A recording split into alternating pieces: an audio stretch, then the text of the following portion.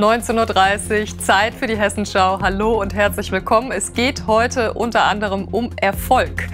Erdölvorkommen in Riedstadt übertrifft alle Erwartungen. Was bedeutet diese Sensation? Und ein Gießener Politikstudent stürmt die Spotify-Charts. Seinen Erfolg feiert er bescheiden und er hat noch sehr viel vor. Und es gibt Ärger nach einer AfD-Wahlkampfveranstaltung. Am vergangenen Wochenende treffen sich rund 40 AfD-Mitglieder aus Gießen und dem Vogelsberg im Dorfgemeinschaftshaus in Rabenau-Geilshausen. Etwa doppelt so viele Demonstranten, Gegendemonstranten sind auch da. Die Stimmung ist aufgeheizt und es ist ja eine Unsitte geworden in unserem Land, Personen oder aktuelle Entscheidungen mit der Hitlerzeit zu vergleichen. Auch in Rabenau gibt es einen Nazi-Vergleich und der hat Folgen. Höcke der Dr. Mengele ist auch da, guck. Ja, sehe es hier. Hä? Was haben Sie gemeint mit Mengele? Ja, Wer da steht er. Dieser Verbrecher hat für die Impfpflicht gestimmt.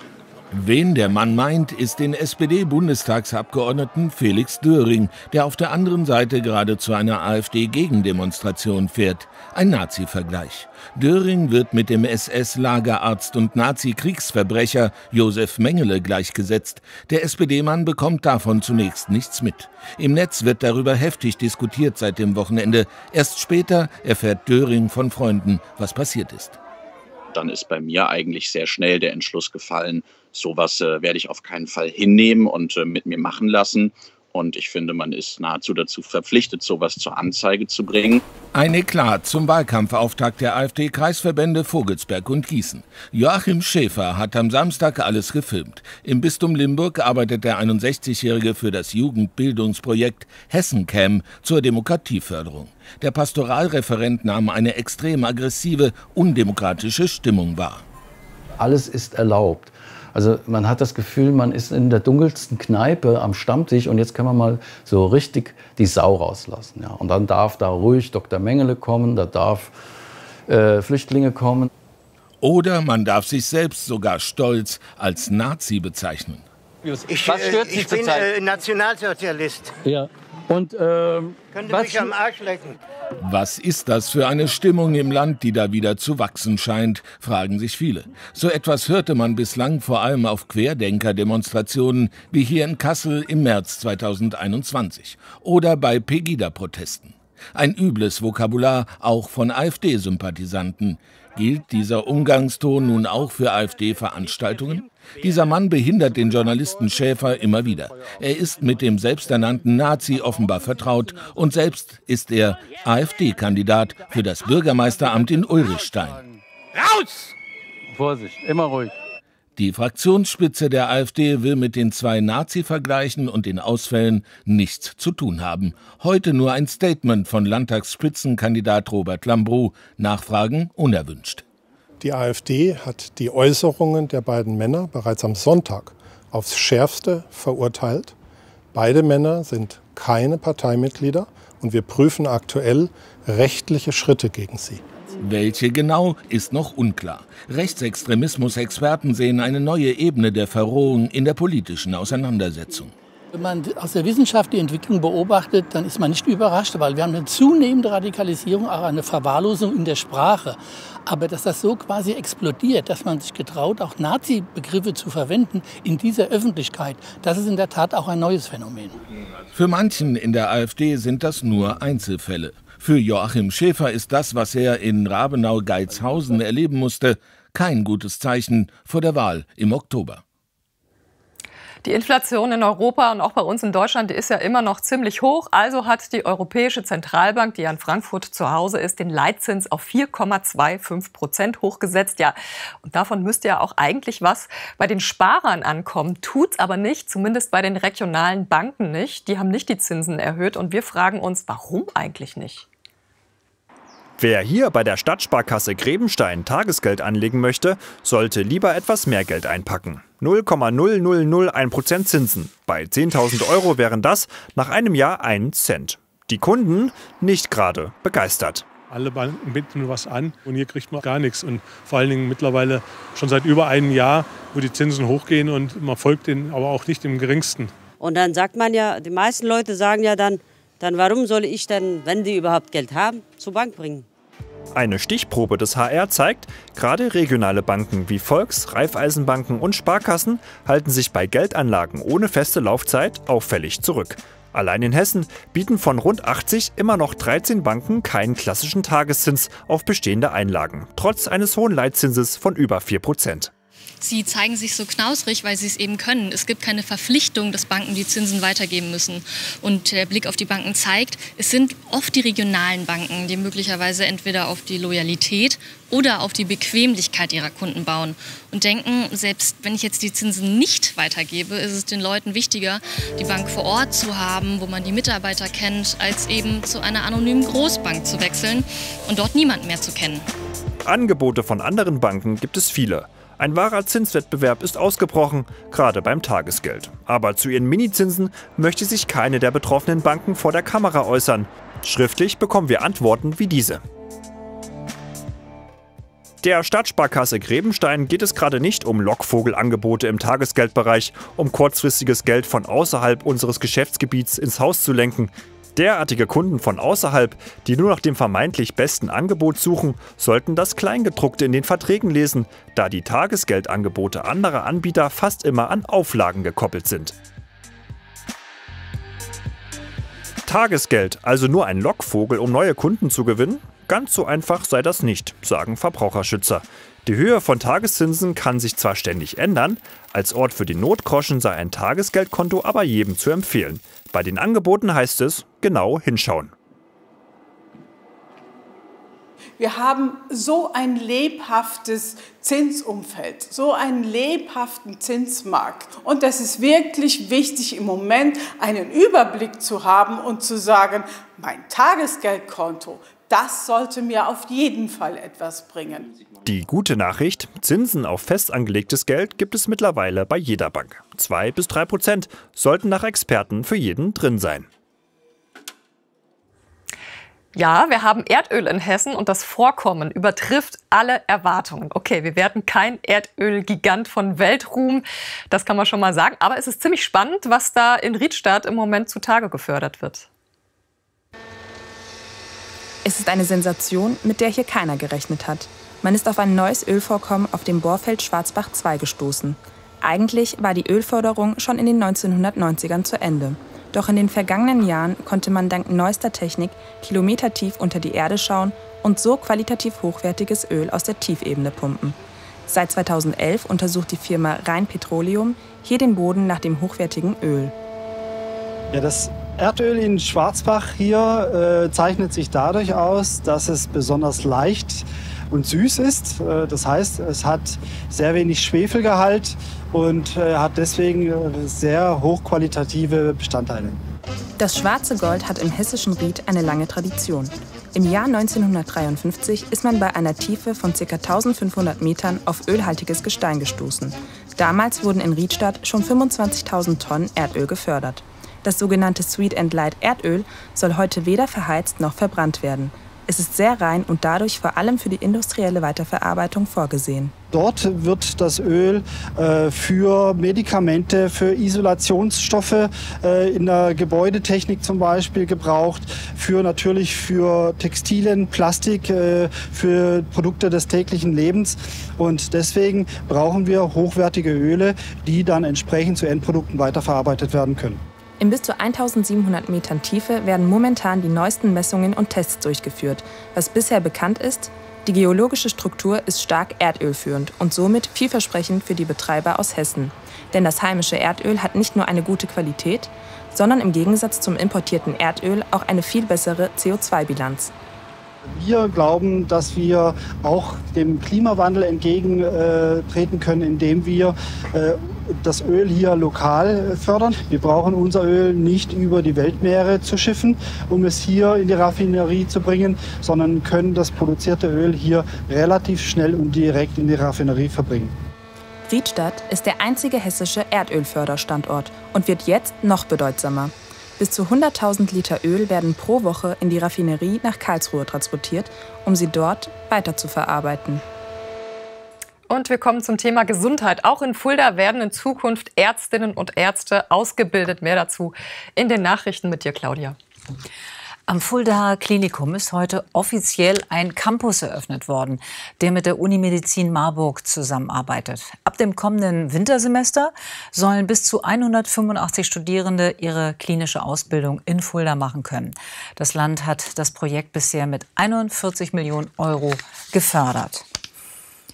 20.000 neue Kitaplätze, 60.000 neue Wohnungen und ein Klimatransformationsfonds für die Wirtschaft. Unter anderem mit diesem Programm ziehen die hessischen Grünen in den Landtagswahlkampf. Heute wurde die Plakatkampagne vorgestellt. Spitzenkandidat Tarek Al-Wazir will Ministerpräsident werden und wirbt dafür auch auf 1000 Großflächenplakaten, so viele wie nie zuvor. Al-Wazir zeigte sich bei der Vorstellung der Motive optimistisch, dass die Grünen noch stärkste Kraft werden können. Er spüre und sehe eine motivierte Partei. Insgesamt gibt der Landesverband 1,5 Millionen Euro für den Wahlkampf aus, 50 Prozent mehr als vor fünf Jahren. Bisher ist der Kassel Airport ein Regionalflughafen. Hessens Wirtschaftsminister Al-Wazir von den Grünen denkt jetzt laut darüber nach, den Airport zu einem Verkehrslandeplatz herabzustufen. Man wolle damit laut Wahlprogramm Kosten und Nutzen in Einklang bringen.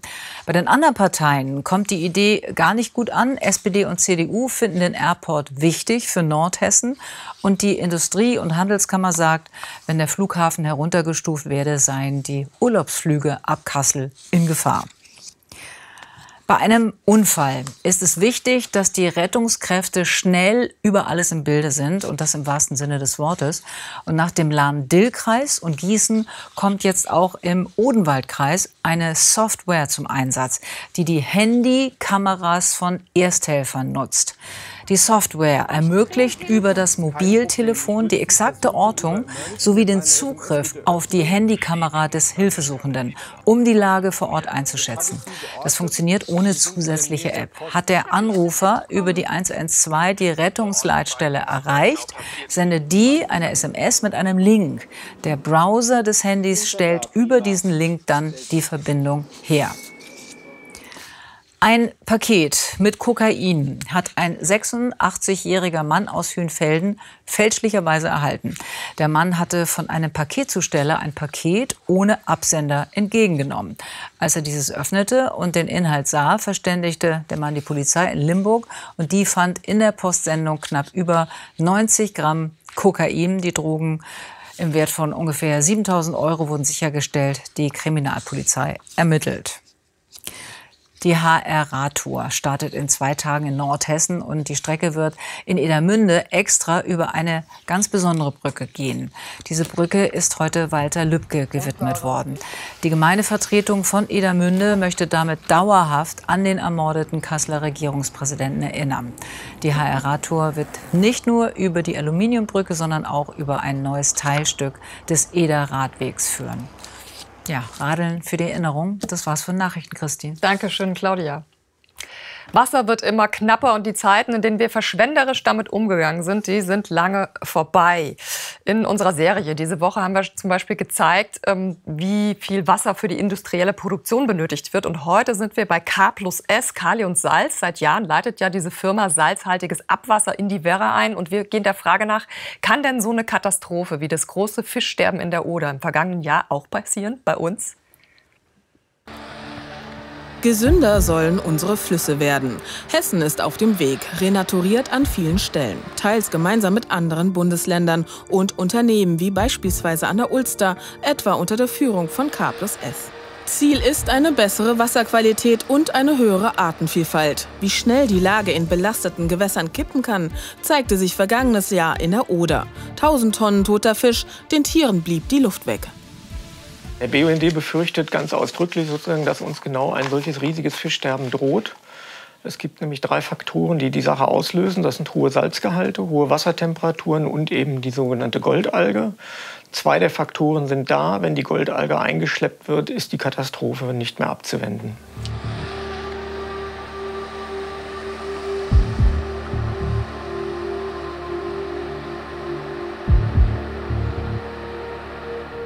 Der Kali Salzberg im nordhessischen Hattorf. Baustellenbesichtigung. Es geht um innovativen Gewässerschutz. Der Düngemittelhersteller K plus S versucht hier die negativen Folgen seiner Salzgewinnung einzudämmen. Denn quasi jeder Tropfen, der auf die Halde fällt, verursacht mehr Salzabwasser. Die Strategie also, überall wo neu aufgeschüttet werden soll, wird zuerst der Boden versiegelt zum Grundwasserschutz. Und der alte Salzberg wird abgedeckt und begrünt. Das ist 100% dicht. Ähm, dafür sorgt dann schon die Kunststoffdichtungsbahn, die als unterste Schicht ähm, direkt auf dem Salzkörper äh, liegt. Die sind verschweißt, äh, das ist zertifiziert, das ist kontrolliert, jede einzelne Schweißbahn. Über 100 Jahre soll das Ganze mindestens halten. Allerdings, bis die gesamte Halde abgedeckt ist, dauert es noch Jahre. K plus S und die zuständige Genehmigungsbehörde tüfteln noch an einem dauerhaft sicheren Weg, auch die Flanken des Salzbergs zu bedecken. Eine Herausforderung, weil die steil und instabiler sind als das Plateau. Rund drei Millionen Kubikmeter Haldenabwässer werden in die Werra geleitet. Von hier aus verbreiten sich die Salzabwässer. Die Werra bildet zusammen mit der Fulda die Weser. Die Bundeswasserstraße zählt zu den salzigsten Flüssen Europas und mündet bei Bremen in die Nordsee. Die verheerenden Auswirkungen von Salz und all den anderen Chemikalien aus Industrie, den Kläranlagen und der Landwirtschaft erforschen die Biologen für Fließgewässerökologie im Senckenberg-Institut in Gelnhausen. Hier eine Probe aus einem unter anderem mit Salz belasteten Gewässer. Was wir sehen ist, dass hier sehr, sehr viele von diesen kleinen gelblichen Tieren rumschwimmen, also in dieser Probe sind. Das sind kleine Bachflohkrebse. Da sind sehr, sehr viele davon da, aber von anderen Arten sehen wir nur hin und wieder mal welche. Schon relativ geringe Mengen von Salzen, also Chloriden, haben drastische Auswirkungen. Also man muss da unterscheiden. Chlorid selber kann tatsächlich eine direkte Wirkung haben. Das macht den Organismen dann physiologischen Stress im weitesten Sinne. Ähm, das kann aber auch eine indirekte Wirkung haben. Und indirekte Wirkung heißt dann, dass das Chlorid dafür sorgt, dass die Algengemeinschaften in den Gewässern sich verändern. Mit einer veränderten Algenfauna wird die Nahrungssuche und das Überleben besonders für kleinere Tiere schwerer. Artenarmut ist auch schon in der Werra und Weser die Folge. Die Biologin plädiert deshalb grundsätzlich für eine möglichst geringe Einleitung von Salzabwässern. Eine grundlegende Zäsur peilt K plus S für 2028 an. Dann werden keine hochkonzentrierten Produktionsabwässer mehr in die Werra eingeleitet, sondern nur noch die Haldenabwässer. Der Fluss wird dadurch deutlich weniger strapaziert. Aber die Frage bleibt, ist ein Szenario wie an der Oder auch in Werra und Weser denkbar? Ausschlaggebend für das Fischsterben waren die sogenannten Goldalge und die ungleichmäßige Salzeinleitung. An der ähm, Werra muss man wissen, da wird ja salzhaltiges Abwasser ganz gleichmäßig eingeleitet. Also wir haben eine gleichbleibende Konzentration, wir haben eine stabile Lebensgemeinschaft, die sich auf diese salzigen Verhältnisse eingestellt hat.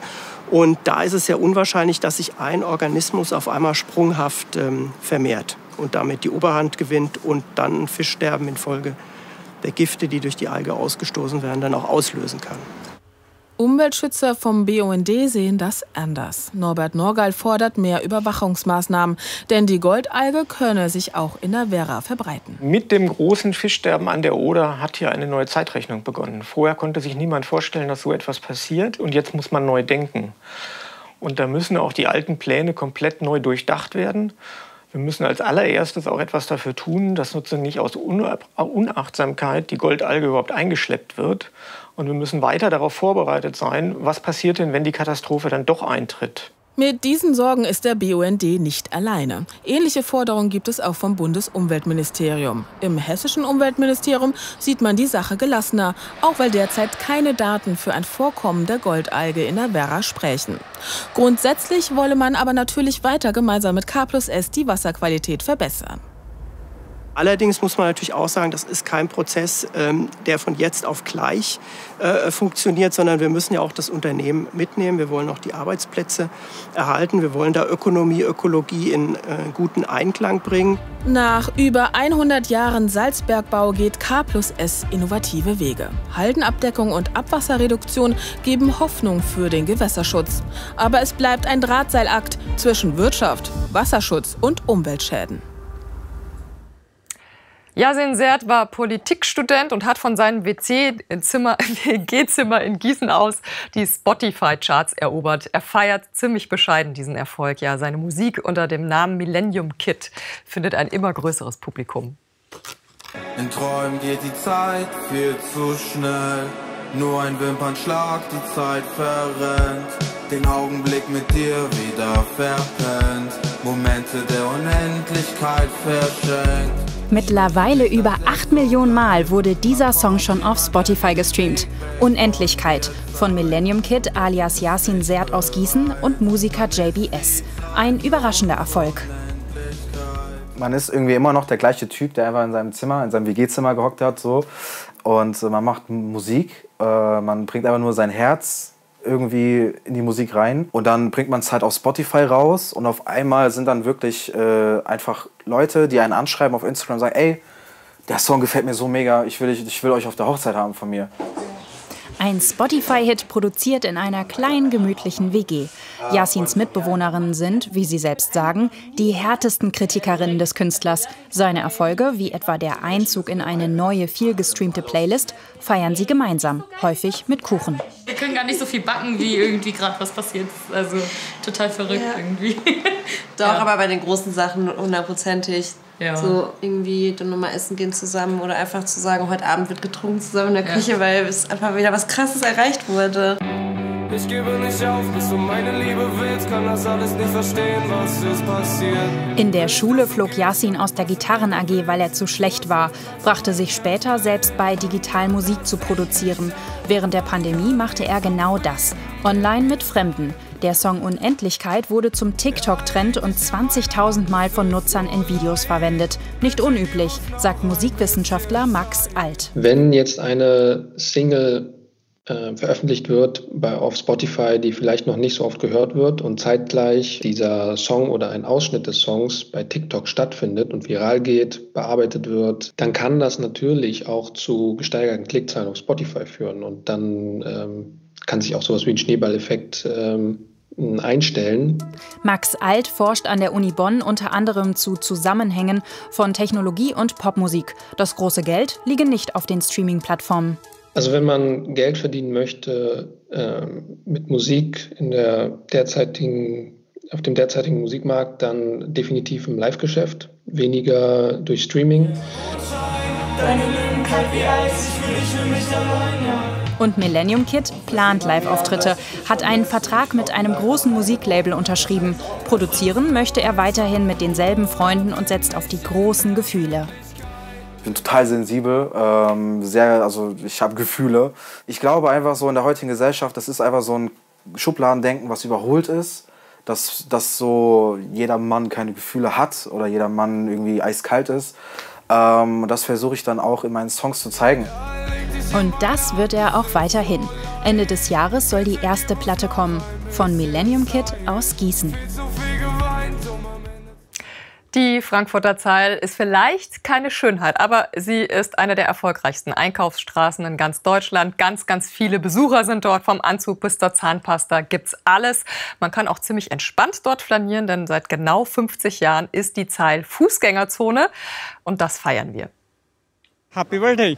Herzlichen Glückwunsch! Ja, ja, herzlichen Glückwunsch! Alles Gute zum Geburtstag. Wir sagen Glückwunsch und Danke und alles Gute. Die Frankfurter Zeil. Über 800 Jahre alt, 1,2 Kilometer lang und ein echter Wirtschaftsfaktor. Heute vor 50 Jahren wurde die bis dahin vierspurige Straße für die Autos dauerhaft gesperrt. Nur die Straßenbahn fuhr noch. Die Idee, ein Fußgängerparadies schaffen. Ernst Gerhard war damals an der Entscheidung beteiligt. Der 101-Jährige war Stadtkämmerer und für die Finanzen zuständig. Ja, das war eine gewaltige Umstellung. Äh, äh, manche haben das begrüßt, weil sie ein bisschen was gegen die Autos hatten äh, und, und andere äh, haben es äh, als Nachteil empfunden. Vor allem die Anwohner in der Bleichstraße. Denn hier musste der Verkehr durch. Täglich 28.000 Autos. Half alles nichts. Die Zeil blieb eine Fußgängerzone. Und 1982 aufgehübscht mit einer Doppelreihe Platanen. Und kurz darauf fuhr auch keine Straßenbahn mehr. An Kriminalität hat die Geschichte der Zeil auch einiges zu bieten. 1994 schießt ein Mann mit einer Maschinenpistole um sich. Ein Mensch stirbt, zwei werden verletzt. Im gleichen Jahr die Peanuts-Affäre. Jürgen Schneider, der Bauherr der Zeilgalerie, prellt die Deutsche Bank. Und ständig wurde gebaut. Ott und Heinemann weg. Die Post 1998 leer und auch das Traditionskaufhaus M. Schneider kurz vor der Schließung. Die großen Ketten haben übernommen. Doch nach Corona und den gestiegenen Energiekosten sitzt der Geldbeutel nicht mehr ganz so locker. Zuletzt schließt auch noch eine Karstadt-Filiale. Vor allem Richtung Konstablerwache herrscht Leerstand auf der Zeil. Ich gehe äh, ab und zu mal in die Innenstadt äh, was Köstliches zum, äh, zum Mittagessen. Und da hat man es mit Geschäftsleuten zu tun, die, die besorgt sind um, um die, die Funktionsfähigkeit der Innenstadt, dass sie Vielfalt bleibt, dass sie für Menschen attraktiv bleibt und dass sie auch eine Fülle von Angeboten bereithält, was eine Innenstadt prägt. Und auch der Ruf der Zeil ist nicht mehr ganz so makellos. Abends gehe ich hier gar nicht mehr her, da ist mir es mh, hm, zu gefährlich, sag ich ganz ehrlich. Also wenn meine Freundin würde ich allein hier nicht rumlaufen lassen. Und ich habe mal selbst hier gearbeitet und ähm, das Publikum ist auch immer, wird auch immer schlimmer. Also ich finde eigentlich, ich gehe hier nur durch, weil ich hier durch muss. Aber vielleicht wird es ja noch mal so schön wie vor 50 Jahren, als die Zeil zu einer der ersten Fußgängerzonen Deutschlands wurde. Und wir sind wieder zurück in unserem Studio. Hier ist es auch ganz schön, aber wir wollen raus zu Ihnen. Das machen wir auch. Am Donnerstag und Freitag sind wir im Osten und Norden Hessens unterwegs und senden die Hessenschau live vor Ort. Die Hessenschau kommt zu Ihnen in die Region. Raus aus dem Studio, rein ins Leben. Kommen Sie vorbei, wenn Sie sehen wollen, wie wir eine halbe Stunde Nachrichten aus Hessen live senden. Wir freuen uns auf Sie. Am Donnerstag machen wir Halt in Rothenburg. Und am Freitag in Witzenhausen. Los geht's um 16 Uhr rund um die Marktplätze. Mit dabei auch die Kollegen von Hallo Hessen. Alles live bis 20 Uhr. Jenny Siegler, das Hessenschau-Team und ich, wir freuen uns ganz, ganz dolle. Wetter soll nicht so gut nee. werden, aber kriegen wir schon hin. Karl, Laune ist gut. 22.15 Uhr nochmal die späte Hessenschau. Ja, und jetzt kommt das Hessenschauwetter mit Tim Frühling, der Mann, der einen so schönen Namen hat im heißen Sommer. Also, bis morgen. Machen Sie es gut. Ciao.